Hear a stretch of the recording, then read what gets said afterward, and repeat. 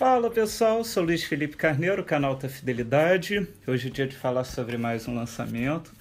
Eu escolhi um disco de uma banda que acho que pouca gente conhece aqui no Brasil. Estou falando de Crack Up, novo álbum do Fleet Foxes. Pouca gente conhece, quase ninguém vai ver esse vídeo, mas enfim, o que é bacana a gente fala aqui.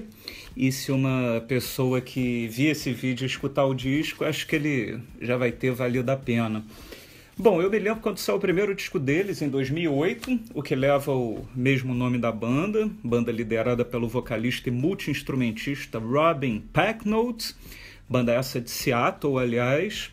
É, eu acho que eu devo ter sido a primeira, ou a segunda, ou a terceira, no máximo, pessoa no Brasil a escrever, a falar dessa banda. Podem procurar aí pela internet. Achei um trabalho muito original, muito diferente do que estava sendo feito, um som absolutamente diferente, uma coisa meio acústica, meio pastoral, meio indie folk, é, com umas harmonias vocais a lá The Beach Boys, que me agradaram muito. Em 2011 eles lançaram o segundo disco, Helplessness Blues, é, seguindo a mesma pegada do primeiro, e igualmente bom, na minha opinião. E agora, seis anos depois, aliás, esse pessoal hoje em dia demora para lançar disco, né? É a vez do terceiro álbum, o Crack Up, com essa belíssima capa, né? Sobre o qual a gente vai falar aqui nesse vídeo. É, a banda mudou muita coisa entre os dois primeiros e esse terceiro disco. É um álbum com uma ideia diferente, não que seja melhor nem pior do que os outros, mas você saca que talvez seja o trabalho mais experimental e ao mesmo tempo mais complexo do Fleet Foxes.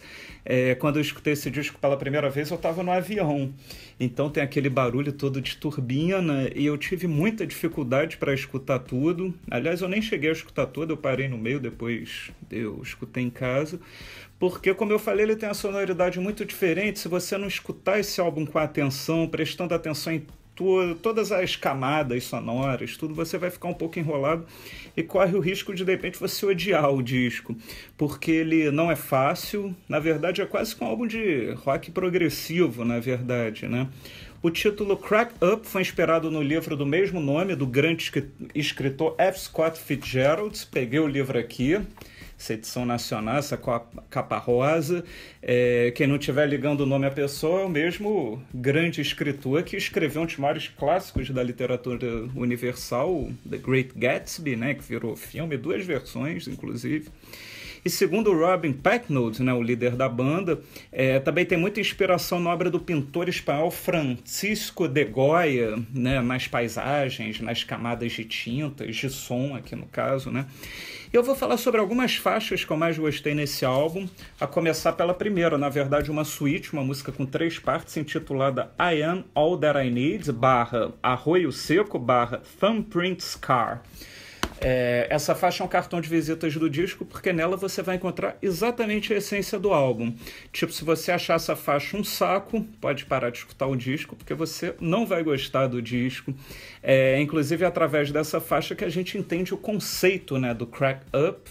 Eu mostrei aqui o livro do Scott Fitzgerald e ele é composto de vários contos, é, ensaios, e um deles se chama exatamente Crack Up, se não me engano, foi para Esquire em 1936.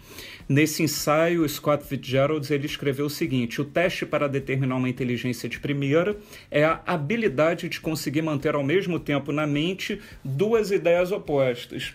Então a banda seguiu essa ideia em todas ou quase todas as faixas desse disco. É, o Fleet Foxes foi para um estúdio na zona rural de Washington e a banda pegou vários é, demos, né, versões demo que eles tinham gravado. É, aí, tipo, pegava uma triste, pegava uma alegre, uma mais ou menos triste, uma mais ou menos alegre, uma em outra vibração, tudo. E juntavam tudo. E assim começou o trabalho de produção e de edição do disco. E por isso que o álbum é composto basicamente de faixas suítes, com vários movimentos diferentes e que acabou dando essa vibe meio progressiva para o disco, né? Então, no final das contas, é, o Crack Up vai nesse caminho de diferentes climas, diferentes paisagens, diferentes humores. Por exemplo, tem uma outra faixa que sintetiza bem o clima do álbum, que é Third of May barra Odai Gahara, é, com quase nove minutos de duração. E para você ter uma ideia, essa faixa imensa foi escolhida pela banda e pela gravadora, o primeiro single do disco, né? Então você vê que realmente é um trabalho ambicioso, né? Diferente, que lógico, muita gente vai achar genial, muita gente vai achar chato pra caramba. Outros momentos que eu gostei do disco aqui, que eu separei, Capwoman, é, com belíssimos vocais do Robin Pecknold, uh, a climática Meyarkstapa. Esse disco, em termos de títulos de música, é muito complicado. Parece até disco do Sigur Rós, né? Tem a acústica I Should See Memphis, é, a faixa título Crack Up, que encerra o álbum, tem uma coisa toda bem épica e que meio que deixa aquela sensação no ouvinte, meio que, pô, acabou, que pena.